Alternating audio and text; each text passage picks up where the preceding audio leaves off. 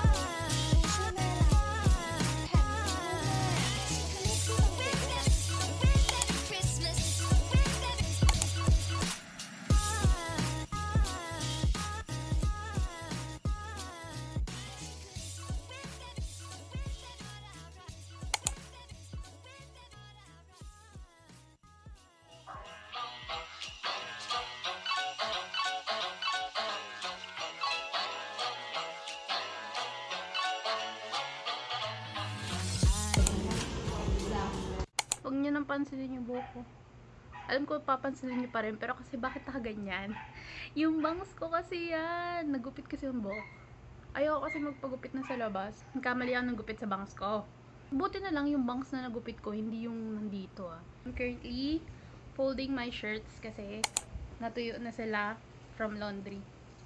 Kasi nag-laundry ako ng isang araw. While I'm folding, I'll be answering a question galing sa comment section. Yung question niya is ano daw sinusuot namin sa USTBS ND na uniform. Ang sinusuot namin usually sa USTBS ND since nasa College of Education kami, yung type A ng College of Education which is this one. Yan. Kalagay lang siya dyan. And then, pagdating ng February, March, since yun na yung time ng summer, ganyan mainit, mainit mag type A. Kaya gumawa yung mga colleges sa UST ng type B, which is ito yung sa Edu. Yung mga kami zookeeper. Pero comfy yung shoes, hindi na kami naka black shoes kasi. Pag food lab naman, pag gagamit kami ng food lab like yung basic foods, meal management, food service system, magamit kami ng chef uniform. Pag nakahanap ako ng picture namin na naka-chef uniform, lagi ko dito. Yan pag lecture naman sa mga subjects na yun, hindi naman kami naka-chef uniform. Naka-ano kami, naka-type A. Depende sa time of the month. Kasi di ba may type B. Next naman, yung sinusuot namin pag laboratory sa basic nutrition, sa nu- nutrition the life stages, um, micropara, anafisio, biochem. Naka-lab gown naman kami. Naka-lab gown yung white na lab gown hanggang tuhod yung haba. Yan, nakaganon kami. Tapos pag um, sa basic nutrition naman, tsaka sa nutrition the life stages. Kasi minsan, pag laboratory, nagluluto doon. So, kailangan naka-hairnet kami. Pero the rest na naka-lab gown, kailangan nakatali. Ngayong fourth year, may practicum kaming damit, which is isa lang napagawa ko. Kasi, ang laki pa nga nang napagawa ko eh, pero ilagay ko yung picture niya dyan. Yan yung itsura niya. Yung white coat, gagamitin ata namin yun sa hospital. Kailangan namin gamitin yun sa hospital. ano pang silbi kung hindi namin gagamitin yun, di ba? Ano, picture lang. So, yun yung gagamitin namin ngayong practicum sa hospital.